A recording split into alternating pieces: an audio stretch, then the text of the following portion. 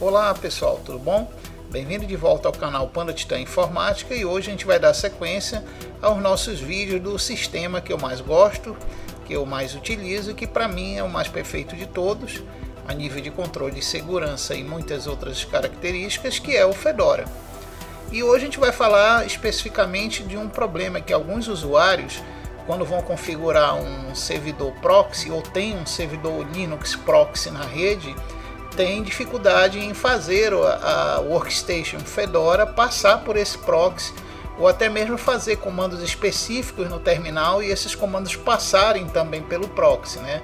Então a gente vai aprender como padronizar todo o workstation Fedora a nível de configurações para que ele automaticamente já ache as configurações do proxy e já passe pelo proxy para, para acessar a internet, caso você dê algum comando no terminal ou utilize algum programa específico que precise atravessar o proxy.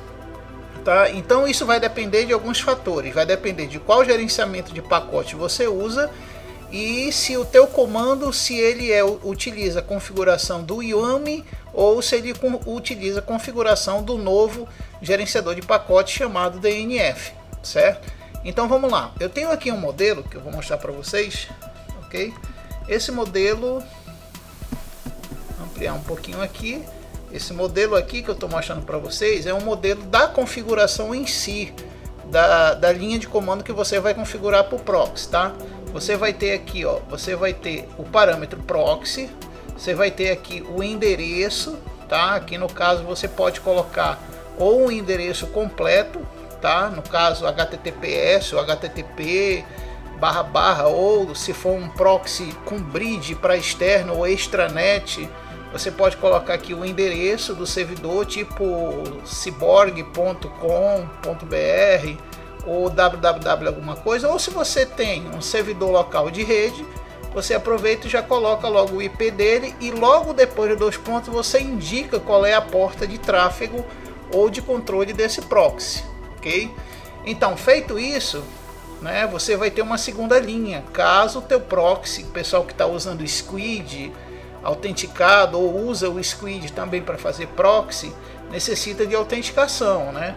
Então, caso você precise que o teu comando que você vai dar no terminal ele já passe pela autenticação automaticamente, você pode usar aqui o parâmetro proxy name, tá? E logo no final você coloca aqui o nome do usuário que se loga no proxy e logo embaixo você coloca o parâmetro proxy password e logo do lado coloca a senha também. Então, como a gente já está com tudo isso prontinho aqui, né? Eu vou, não vou especificar porque eu não estou usando proxy agora, mas a gente vai, vai fazer com que essa linha seja o padrão que a gente vai utilizar para configuração do nosso, do, da, da passagem da rede para o proxy. Bom, a primeira coisa que você tem que configurar é o seguinte: eu vou abrir o terminal aqui, ok? Vamos abrir aqui ele, peraí, só posicionar ele aqui direitinho e a gente vai editar alguns arquivos aqui de configurações, tá? Bom, eu vou fazer aqui para vocês, tanto no caso de quem usa pacotes, gerenciamento de pacotes Yumi e também para quem usa gerenciamento de pacotes DNF, tá? Então vamos aqui para o superusuário. E aqui no superusuário eu tenho que entender o seguinte, se eu uso gerenciador de pacote Yumi, eu tenho que ir para a pasta etc, como eu estou fazendo aqui, ó, eu fui para a pasta etc, e na pasta etc eu vou criar, tá? Geralmente esse arquivo não existe quando, não, quando você nunca configurou um proxy, que é um arquivo chamado, que eu vou até mandar o ls listar ele, chamado yumi.conf. Opa, .conf. Então você vai ver que esse arquivo não existe, ó. Tanto que o ls ele não encontra o arquivo, tá? Então nesse caso eu vou ter que criar esse arquivo aqui na pasta etc. Então eu posso usar o comando nano, né? Posso usar o comando nano yum.conf para criar esse arquivo. Só que esse arquivo ele tem que ser criado em dois lugares diferentes, tá? Não só aqui na pasta etc, mas tem outro local que eu vou mostrar para vocês que vocês também criam esse arquivo. Ou pode fazer uma cópia dele se quiser. Então, o que, é que eu vou fazer agora? Eu vou voltar aqui para o meu, pro meu texto que eu estava trabalhando, voltar aqui para ele e vou copiar logo aqui o texto para não ter muito trabalho para redigir, tá? E eu vou voltar aqui para o nosso terminal e aqui mesmo a gente cola, tá? Aqui mesmo a gente cola e tá aqui o texto, ó. Então o que, é que eu vou fazer? Eu salvo esse arquivo, correto? Vou salvar ele aqui rapidinho. Salvei. E se eu der o ls agora, ele já vai aparecer aqui na, no meio dos arquivos listados. Ó. Tá aqui ele. Ó. Vou dar até um cat nele para ver se ele está aqui direitinho mesmo. Certo? Vamos dar um cat nele aqui. E tá aqui o conteúdo dele. Agora, além dele estar gravado aqui na pasta etc, ele tem que estar gravado numa outra pasta que eu vou mostrar para vocês, que é a pasta YAML, tá?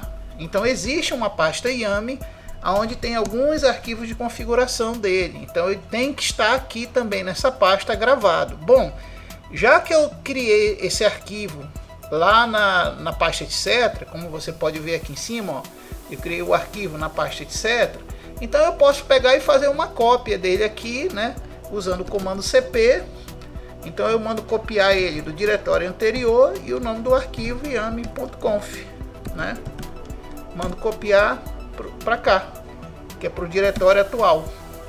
Então o, o, que o, o que o comando cp vai fazer? Ele vai copiar do diretório anterior esse arquivo aqui, certo? Copiar para o diretório atual. Então é isso que a gente vai fazer. Pronto. Se eu der um ls, tá aqui uma cópia dele. Vamos dar um cat para conferir se ele realmente está copiado. Então tá aí com a configuração. Bom, isso daí é necessário para quem usa o gerenciador de pacote YAML até a versão 21, porque até a versão 21 ele ainda era priorizado pelo sistema, mas a partir da versão 22 do Fedora para frente ele já foi praticamente descartado. Então não adianta fazer configuração nenhuma nele a nível de arquivo de configuração, como vocês viram, que não vai funcionar a partir do Fedora 22 em diante. Então, no caso do Fedora 22 em diante, a gente vai usar o sistema de arquivos DNF. Então, existe um outro arquivo que você vai ter que configurar esses parâmetros do proxy, ok? Esse arquivo, vamos dar uma limpada aqui na tela, tá? E esse arquivo ele está na pasta etc, raiz etc, e na pasta DNF, ok? Então, se eu listar aqui a pasta DNF, você vai ver que eu já tenho um dnf.conf, mas é bem provável que esse dnf.conf ele não tenha ainda as configurações do proxy, ó. Como você pode ver, ele não tem. Então, nesse caso, o que, é que eu posso fazer? Eu posso adicionar essas configurações do proxy nele. Já que eu tenho copiado essas configurações, eu vou editar no arquivo nano, certo? Vamos editar no arquivo nano. E aqui embaixo a gente cola as configurações do proxy. Pronto. Basta fazer isso no final do arquivo, pessoal. Então eu salvo, né? Eu salvo e se eu for dar um cat, eu já tenho a configuração do proxy DNF já realizada. Tá? Então vamos dar um cat aqui no conf dele e tá aqui já na tela salvo as configurações que eu coloquei lá. Bom, em alguns casos, isso que eu mostrei até agora já é o suficiente, mas dependendo de qual comando você for utilizar, como no caso do wget, que é um comando do projeto GNU, não é um comando exclusivo do Red Hat, e nenhum comando exclusivo do Fedora, ele não é um binário de um projeto mais atual do Fedora, é um, é um binário de um projeto muito antigo, do caso dos primeiros comandos do projeto GNU, é bem provável que ele, esses comandos não vão perceber essa configuração que você fez no proxy, tá?